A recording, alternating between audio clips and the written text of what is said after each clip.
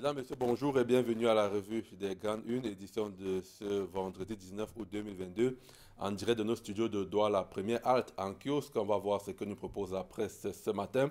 D'abord, la nouvelle expression qui consacre son actualité majeure aux produits cosmétiques et titre sur le jeu trouble du gouvernement. Le journal explique qu'après le scandale occasionné par le produit au pouvoir éclaircissant d'une élue de la nation, la problématique du contrôle et de l'évaluation des produits est au devant de la scène. Le gouvernement, accusé de brouiller les cartes, la course à la peau jaune a fait son nid dans la société camerounaise. Pourtant, la législation encadre la présence de ces produits sur le sol camerounais. Face à cette situation de violation de la loi, les experts accusent le ministère de la Santé publique de ne pas faire son travail. Pour comprendre la situation qui prévaut dans le secteur des produits cosmétiques au Cameroun, la nouvelle expression a approché des acteurs du domaine. Je vous suggère de lire cet article qui est apparu en page 3 de la nouvelle expression.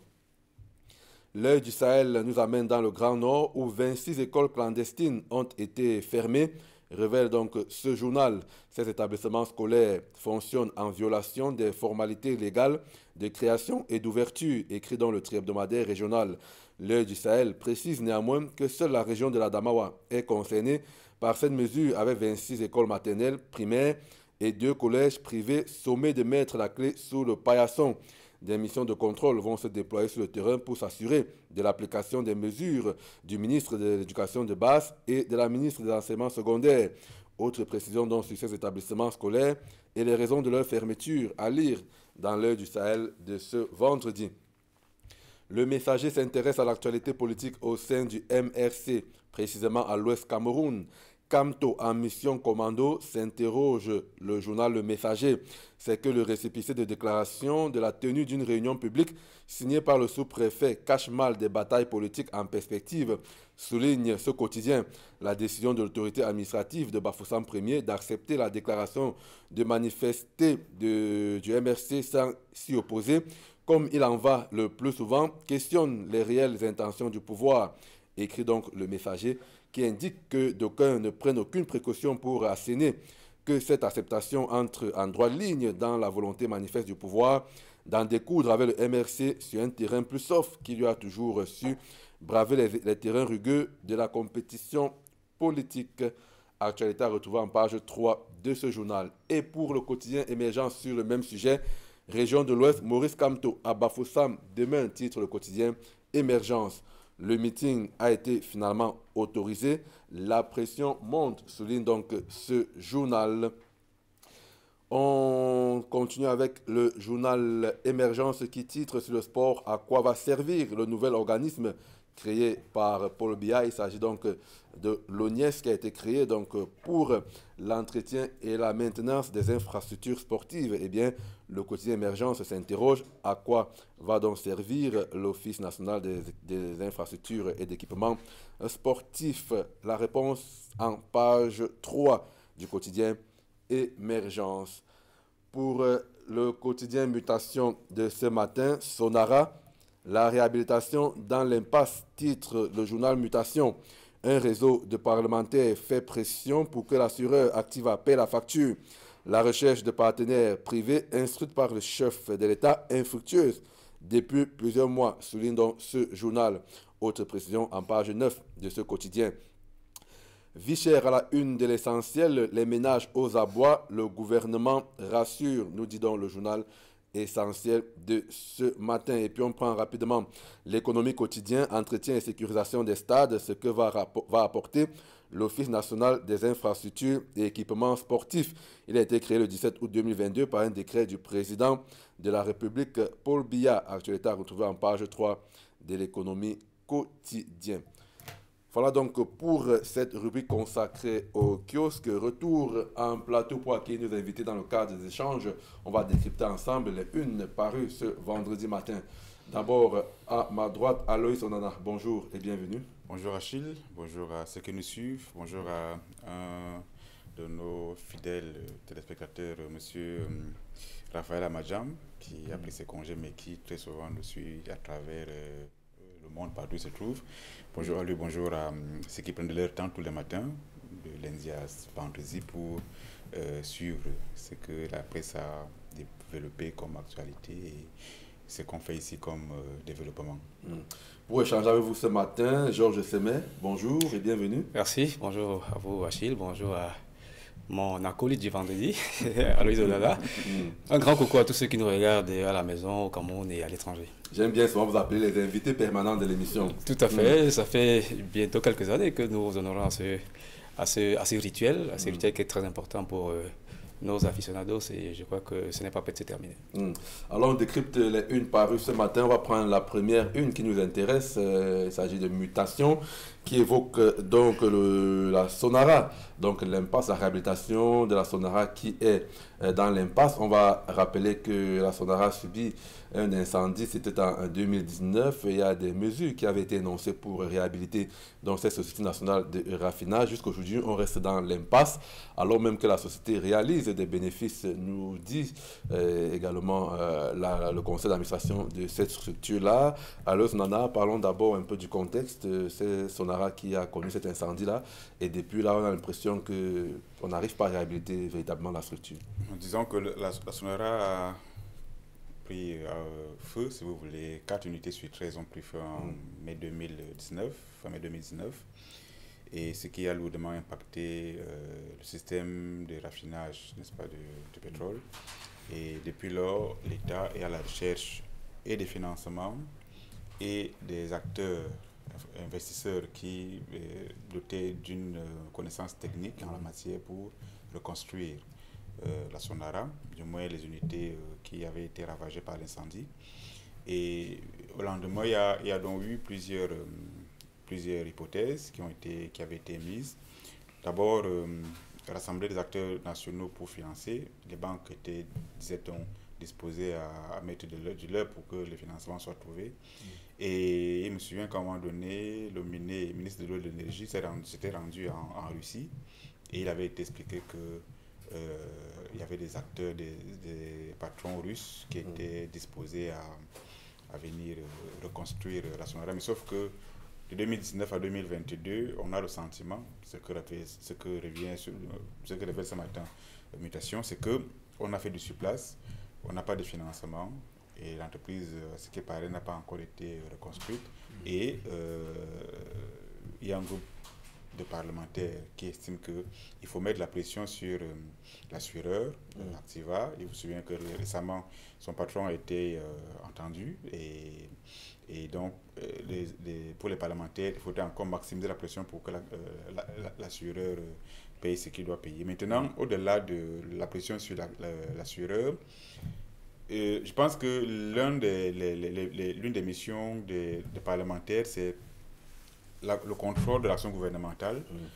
Et il serait quand même de bon ton que la même pression qu'on met sur un assureur soit également mise sur euh, euh, euh, l'affaire Glencore, qui a pratiquement disparu des, des, écrans, que la même pression soit également mise par les mêmes parlementaires, du moins Parlement parlementaire sur des sujets mm. comme l'affaire Covid, des, sujets qui ont occupé la scène, le, devant de, le devant de la scène et qui, ont, qui sont totalement ignorés par les mêmes parlementaires. C'est à ce niveau-là qu'on peut se dire, mais pourquoi donc mettre tant de pression sur euh, un seul euh, assureur et oublier d'autres sujets qui ont aussi mm. un trait à l'économie camerounaise? Mm. Georges Semet, pourquoi la Sonara a des difficultés à se réhabiliter? On met la pression sur l'assureur alors, pourquoi ça coince? Alors, a dressé un tableau assez brillant de la, de la situation. L'incendie qui est parti de mai 2019 avec euh, euh, le tiers des unités de raffinage de la Sonara qui, ont, qui sont partis en fumée. Euh, pour répondre le plus simplement possible à votre question, je crois que nous sommes en face de deux problèmes. Et mm. cela a été relevé par les, par les parlementaires.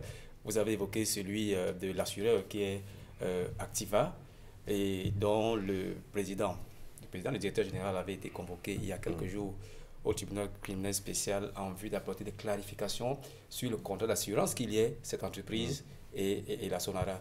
Donc, pour moi, euh, l'État ne devrait toujours pas attendre le dénouement du contentieux avec le contentieux d'assurance avec la Sonara mm. pour continuer à restructurer la Sonara. C'est un aspect du problème et mm. c'est un contentieux qui se déroule au niveau judiciaire. Mais maintenant, il y a sur le plan technique un volet qu'il faut également relever, c'est que euh, la restructuration de la Sonara va se passer sous partenariat public-privé. L'État va y mettre de son argent et selon les dernières nouvelles, on nous dit qu'il y a déjà une cagnotte de 100 milliards de francs CFA de la part des pouvoirs publics qui a été approvisionnée pour engager la restructuration de la Sonara. Et n'oublions pas qu'il ne s'agit pas seulement de la restructuration, il s'agit également de la réhabilitation parce que depuis 2010, euh, il y a un programme d'extension de la Sonara qui avait été lancé et qui a pris fin, la première phase a pris fin en 2018, ça a coûté 350 milliards. Donc, on va donc jumeler le plan d'extension qu'on avait baptisé Sonara 10, son plan d'extension et son plan de réhabilitation mm. qui nécessite 350 milliards de francs CFA. Et les pouvoirs publics nous disent que 100 milliards de francs CFA sont déjà disponibles, mais on attend un partenaire privé qu'on est en train de rechercher et c'est là effectivement où il y a l'impasse. Alors, faisait état tout à l'heure de, de, de, partenaires russes, mais également il y a des Chinois qui sont pour positionner mm. pour euh, participer à la réhabilitation nationale. Donc il y a un gap de 250 milliards qu'il faut retrouver et euh, les parlementaires ont donc raison euh, de dire qu'il y a une impasse. Impasse sur le partenaire euh, privé qui va euh, rejoindre l'État dans la, la, réhabilitation, mais également une impasse sur l'assurance qui, euh, malheureusement, est en train de finir en justice, alors que ça devrait être automatique. Donc, ça veut dire qu'il y a des problèmes d'incompréhension entre l'assureur et l'assuré. Mais c'est très bien que les parlementaires se disent de ce problème parce que l'assurance, quand même, la Sonara est l'une des entreprises qui pourvoit assez de recettes publiques. Et depuis qu'il y a eu cet incendie, les recettes publiques ont extrêmement chuté mm. du fait euh, de ce manque à gagner qui provenait de la Sonara. Et vous parliez de l'État, on rappelle que l'État reste l'actionnaire majoritaire de la Sonara avec 96%, si je ne me trompe pas, des parts. Oui, à peu près, c'est l'actionnaire majoritaire et mm. c'est la raison pour laquelle on insiste sur le fait que la réhabilitation sera engagée dans un cadre partenariat, du partenariat public-privé. et on sait euh, également que euh, le partenaire privé. Le partenaire privé est un partenaire qui devrait en réalité avoir l'expertise pour cela. C'est la raison pour laquelle euh, le ministre de l'eau et de l'énergie est allé rechercher l'expertise plutôt du côté de la Russie qui a quand même une certaine expertise en, la matière. Mm. Mais comme je le disais tout à l'heure, les Chinois également pointent à l'horizon et on nous a parlé même des Américains qui voudraient euh, également participer à, à, à, cette campagne de réhabilitation, mais seulement il faut déjà mm. s'accorder sur le contrat de partenariat public-privé. Et comme vous savez, les procédures dans notre pays, euh, ça prend tout le temps qu'il mm. faudra. Alors, ce qui est intéressant euh, à l'OE Sonara, c'est que pendant que la Sonara, enfin l'État a des difficultés à réhabiliter la Sonara, c'est que l'entreprise réalise des bénéfices. On a quand même annoncé de, un bénéfice de 78 milliards en 2021, selon le, un communiqué qui avait été rendu par le euh, le conseil d'administration de cette structure-là, ça voudrait dire quand même que cet incendie-là, il y a ce problème, mais à côté, on fait quand même des efforts. Elle n'a pas fermé boutique mm. totalement. Il y a eu un incendie, certes vrai, mais l'entreprise a continué tout, doucement. Peut-être c'est la puissance de frappe qui a été réduite. L'entreprise mm. n'est pas complètement à l'arrêt. Donc, euh, passer de 10 milliards à 79 milliards euh, de bénéfices, c'est la preuve que si l'entreprise était réhabilitée, et si on lui donnait tous les moyens possibles mm. euh, que devrait avoir euh, une entreprise de sa, de sa trame, eh bien, on pourrait bien se passer et des importations et d'autres euh, dépenses. Parce que l'entreprise est également aussi focalisée beaucoup plus sur le segment importation. Très bien. Mm. Et donc, c'est la preuve qu'on peut faire confiance à, une entreprise camerounaise comme celle-là et puis euh, elle peut contribuer raisonnablement à notre émergence. Mm.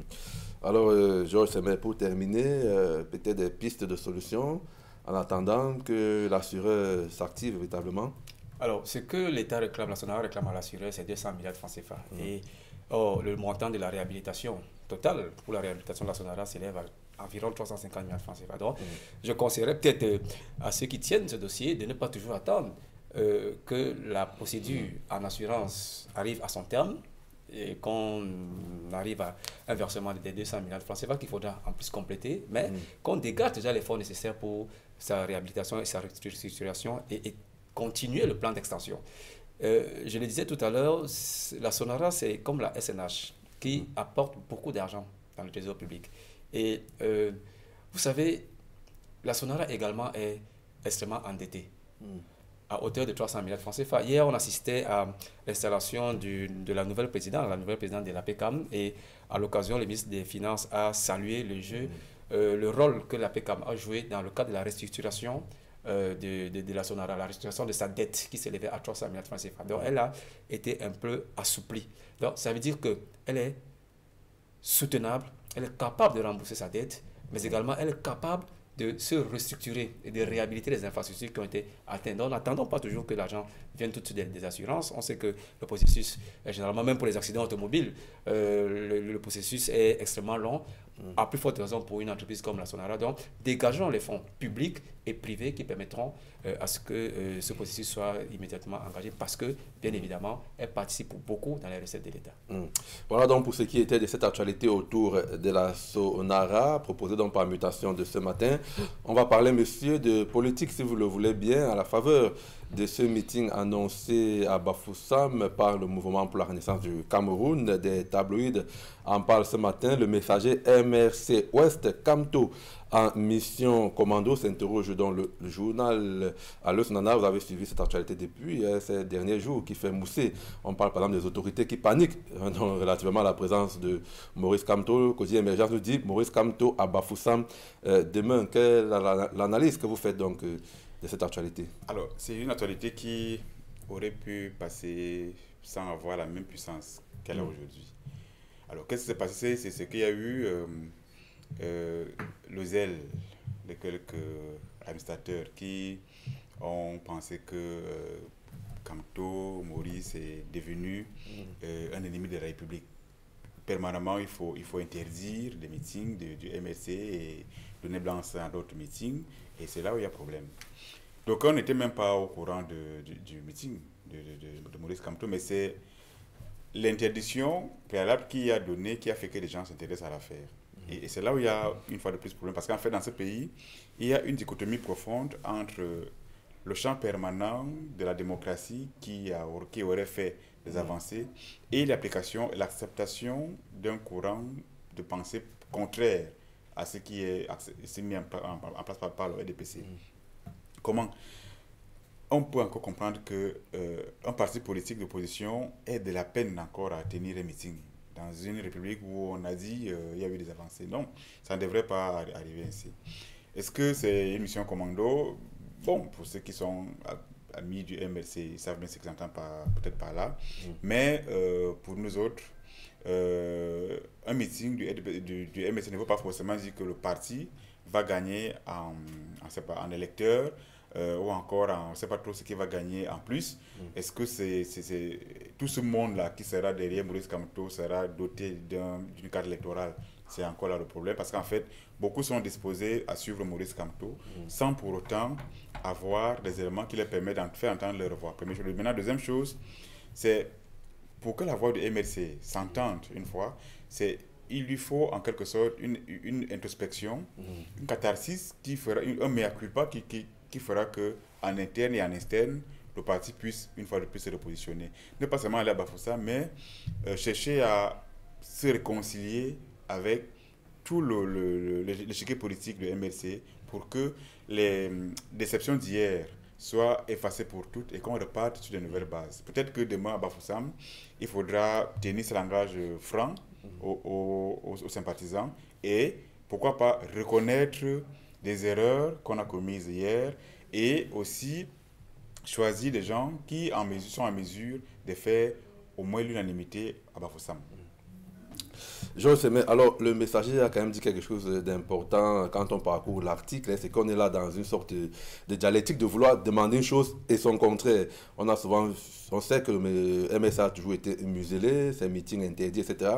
Et on a décrié cela. Aujourd'hui que le meeting est accepté, on a plutôt l'impression que c'est un piège du régime. On se demande quelles sont les intentions du régime.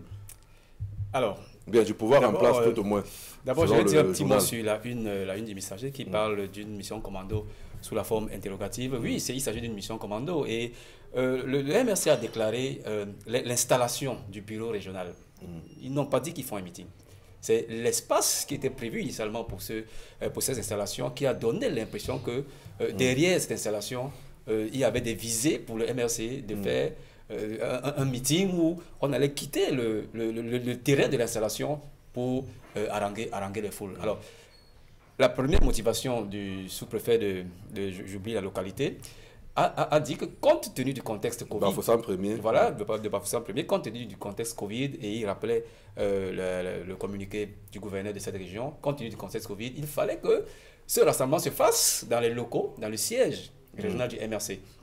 Ce, que, ce qui n'a pas été du goût des responsables du MRC qui ont dit, bien évidemment, vu la popularité du MRC, ils ont estimé que c'était extrêmement exigu mm-hmm. et ça, ils avaient obtenu un espace dans une paroisse, le patio d'une paroisse, où allait se tenir cette installation. Mm-hmm. Donc, ils ont donc été, ils ont reçu le quitus de l'administration ils pourront donc effectuer euh, leur installation. Je, rappelle bien, il faut, les, les mots valent leur pesant d'or. C'est une installation d'un bureau, ce n'est pas un meeting.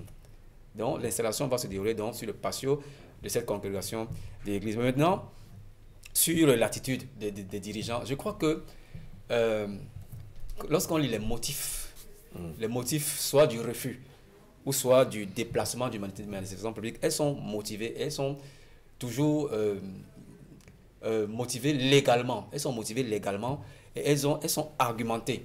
Mm. Mais seulement, là où le bas blesse, c'est que pour le même contexte, on voudrait que cet argumentaire soit repris pour d'autres partis politiques également, ou pour mm. d'autres personnes. Mais malheureusement, on se rend compte que euh, lorsque le contexte est égal, effectivement, lorsque le contexte est le même, pour d'autres personnes, on accorde, on accorde euh, une interdiction, et pour d'autres, on est très permissif. Donc, c'est ce qui fait, laisse croire que le MRC fait peur. Mais en réalité, comme Aloïs l'a dit, cette information aurait pu euh, passer sous le boisseau. Euh, mais seulement, euh, les administratifs ont voulu lui en donner l'ampleur qu'elle est. Mm. Et on va voir demain ce qui va se passer. Et puisque ça va se tenir sur le passé d'une congrégation, mm. est-ce que ce serait un meeting? Est-ce que l'installation va se transformer en meeting? Est-ce que ce sera une simple installation? Mais mm. je crois que Maurice Kamto, il va d'abord installer ses militants, mais surtout N'oublions pas. C'est vrai qu'au cours, il y a de, des l'installation, il y a des discours quand même à un moment donné. Effectivement, mais surtout, c'est résoudre les problèmes qu'il y a au sein du MRC à mm. Bafoussam parce qu'il y a une division profonde entre les militants du MRC dans, dans cette partie. Après le dernier renouvellement des, des, organes de base. c'est d'abord pour ça qu'il va qu'il va à Bafoussam et c'est la raison pour laquelle je suis parfaitement d'accord avec la une du, du messager qui mm. euh, parle d'une mission commando entre, euh, entre interrogations et commando D'abord, au sein du MSC, parce qu'il faudra accorder, accorder les, angles, mais commando également euh, sur ce que deviendra cette installation. Est-ce qu'elle va se transformer en meeting? Est-ce que ce sera une occasion pour lui euh, de revenir sur les grandes questions de l'actualité nationale, etc. etc. Donc, mm. parfaitement, je suis d'accord avec euh, la une du message. Mm. Alors, terminons donc ce programme. Il nous reste à peu près deux minutes pour parler donc de la une de la nouvelle expression sur ces produits cosmétiques là qui ont fait beaucoup de bruit également et qui ont été donc relayés euh, par la presse cette semaine. la nouvelle expression parle ce matin du jeu trouble du gouvernement après le scandale donc euh, occasionné par le produit au pouvoir éclaircissant de l'élu de la nation qu'on connaît tous. Donc la problématique du contrôle et de l'évaluation des produits est au devant de la scène du gouvernement donc qui est accusé de brouiller les pistes. Euh, alors, on a, on a l'impression qu'on vise des personnes particulières et alors que le, secteur même prolifère, on a vu l'entrée en masse des produits euh, dits cosmétiques, euh, comme ça, tout impunément au Cameroun. Alors, c'est un sujet, ma foi... alors que c'est encadré par la législation. Hein. Voilà, tout, tout est, tout est encadré. Et je pense que la réponse mérite d'être, la question mérite d'être posée et les recherches un peu plus profondes menées pour savoir exactement où est-ce qu'il y a problème. Mm-hmm. Est-ce que c'est au niveau de ceux qui contrôlent nos frontières? Est-ce que c'est au niveau de ceux qui euh, parcourent le marché pour euh, vérifier qu'est-ce qui est en norme, en, norme ou pas? Est-ce que c'est au niveau des, comment dirais-je, du ministère du Commerce? Est-ce que, Bref, il, y a mis une interrogation. Je pense que c'est pour cela que oh, le, confrère parle du, du, jeu, du jeu trouble du gouvernement. gouvernement. Maintenant, euh, il faut savoir qu'il y a, il y a des, instances qui sont chargées de, vérifier, mais il est tout à fait quand même presque impossible, n'est-ce pas, d'éradiquer totalement. Euh, bon, quand je dis impossible, je, pense quand même que c'est un, peu limité là, mm. parce que lorsque on veut justement lutter contre un, phénomène dans ce pays, on, a la, on est en mesure de, le faire. Je pense, on, pense souvent le cas euh, du carburant frélaté, lorsqu'il fallait euh, l'interdire, le torpiller, l'éradiquer, le, mm. on avait mis en place une batterie de mesures qui avait prospéré. Et donc, est-ce que c'est la même stratégie qu'il faudrait mettre en place aujourd'hui pour lutter contre les produits décapants? Est-ce que ça peut marcher? Je crois oui. Rien ne peut dépasser l'État lorsqu'il veut mm. justement être efficace. Et donc, euh, le jeu du gouvernement, peut-être qu'il faudrait encore saisir les parlementaires pour que il y ait une commission parlementaire qui mm. se penche dessus pour que euh, ceux qui sont en charge et des contrôles et le, contrôle, le contrôle dans les marchés et le contrôle dans, dans les, au niveau des frontières fassent le travail de manière sérieuse. Mm. En 30 secondes sur le sujet, Georges Semer, on a l'impression que le gouvernement joue au chat et à un jeu trouble. on vise des personnes et pas d'autres. Du deux poids, deux mesures. Oui, très rapidement. D'abord, il faut décrire le laxisme du gouvernement parce que c'est euh, depuis le, reportage qui est passé sur une chaîne occidentale, mm. excellent reportage de notre confrère Tony Michael, que le gouvernement se rend compte effectivement que ce phénomène est dangereux et qu'il existe. Or, c'est vieux comme le monde. On l'a dans nos familles, on, on, l'a dans, dans, nos maisons. Mm. C'était un ministre même long même chez eux. Mais on est complètement sidéré de ce que euh, il, y a un laxisme extrêmement, extrêmement criard. Hormis le laxisme, il y a la responsabilité individuelle. Il faut que nous, les, les, les, parents, les maris et ces personnes, ces femmes qui se décapent, il y a aussi les hommes qui le font, ayant une responsabilité individuelle. Non seulement c'est coûteux, en plus c'est une question de santé publique, c'est dangereux pour la santé, mais également c'est totalement irresponsable. Donc on appelle à la responsabilité du gouvernement, mais également on interpelle les utilisateurs qui devront se ressaisir parce que c'est un phénomène extrêmement dangereux. Hmm. Merci à vous, monsieur, d'être venu donc euh, commenter les unes parues euh, ce vendredi matin. Merci à vous à la maison d'avoir suivi ce programme. Merci à nos équipes techniques autour de Emos Fongo. Restez sur Equinox Télévision. Juste après nous, c'est 10-12, le Zénith.